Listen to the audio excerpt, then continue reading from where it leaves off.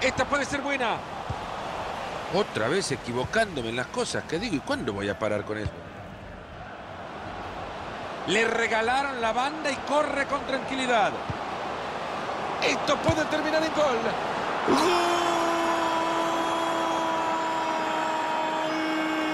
¿Qué me contás, Marito? Dos goles de ventaja ya. Yo creo que no sé si es merecido, pero los goles son los que marcan la diferencia.